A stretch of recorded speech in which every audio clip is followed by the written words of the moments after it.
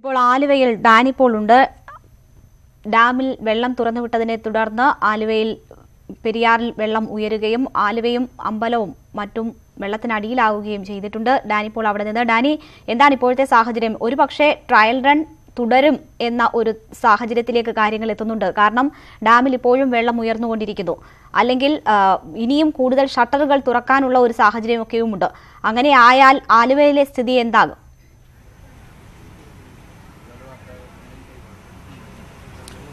രേണുക നേരത്തെ ഇടമലയാർ ഡാം തുറന്നു തുറന്നുവിട്ടു. അതിനുശേഷം ഇപ്പോൾ ഇടുക്കി ഡാമിലെ വെള്ളവും കൂടി തുറന്നുവിട്ട വെള്ളവും കൂടി വൈകാതെ തന്നെ പെരിയാറിലേക്ക് ചേരുന്നു. അത്യന്തം ആശങ്കാജനകമായ ഒരു സ്ഥിതിയിലേക്ക് കാര്യങ്ങൾ പോകുന്നു എന്നതിന്റെ ചില സൂചനകൾ നമുക്ക് ലഭിക്കുന്നു. കാരണം പെരിയാർ അതിന്റെ ജലനിരപ്പ് വളരെ ഉയർന്ന തോതിലേക്ക് വരികയാണ്. നമുക്ക് ദൃശ്യങ്ങളിൽ തന്നെ കാണാം.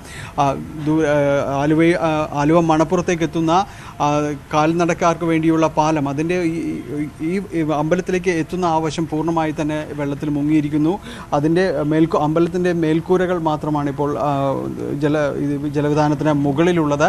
അത് ഇതുപോലെ തന്നെയാണ് പെരിയാറിന്റെ മറ്റ് ഇരു കരവഴികളും മാഞ്ഞാലപ്പുഴയും മുട്ടാർപ്പുഴയും എല്ലാം തന്നെ കരകവിഞ്ഞ് ഒഴുകുന്ന സ്ഥിതിവിശേഷത്തിലേക്ക് വരുന്നു. ഏതാണ്ട് ആയിരത്തോളം കുടുംബങ്ങളെ ആയിരത്തോളം പേരെ മാറ്റി പാർപ്പിക്കുന്ന ഒരു അവസ്ഥയിലേക്ക് കാര്യങ്ങൾ എത്തിയിരിക്കുന്നു.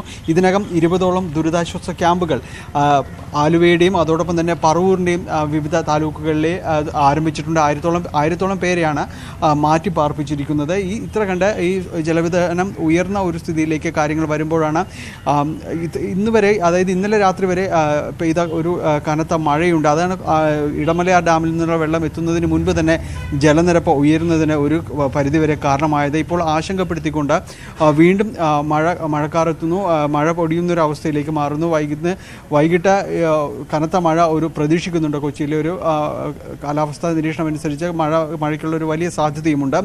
ഈ ഇതിൻ ഇതിനിടയിൽ കൂടി ഇടുക്കി റിസർവോയിലെ വെള്ളം കൂടി എത്തുമ്പോൾ പെരിയാർ ക്രമാതീതമായി തന്നെ ഉയരാനുള്ളൊരു സാധ്യത തന്നെ കാണുന്നു. രണ്ടായിരത്തി പതിമൂന്നിൽ തൊള്ളായിരം ഘന അടി ഘനമീറ്റർ ജലമാണ് ഇടമലയാറിൽ നിന്ന് ഒഴുക്കി കളഞ്ഞത്. ഇന്ന് അത് അറുന്നൂറ് കഴിഞ്ഞിരിക്കുന്നു എന്നാണ് റിപ്പോർട്ടുകൾ. അതിനൊപ്പം കൂടി ഇടുക്കിയിലെ കൂടി റിസർവോയിലെ കൂടി വെള്ളം എത്തിച്ചേരുന്നതോടെ ഒരു പക്ഷേ ഈ അടുത്ത ഇടെ അടുത്ത കാലം എറണാകുളം ജില്ല നേരിട്ട ഏറ്റവും വലിയൊരു. ജലത്തിന്റെ ഒരു പ്രളയ സമാനമായ ഒരു സ്ഥിതിയിലേക്ക് കാര്യങ്ങൾ എത്തുമോ എന്നൊരു സംശയം എല്ലാവരിലും തന്നെ ബാക്കി നിൽക്കുന്നുണ്ട് രേണുക. ശരി ആലുവയിൽ നിന്ന് ഡാനിപ്പോളാണ് വിവരങ്ങൾ നൽകിയത്.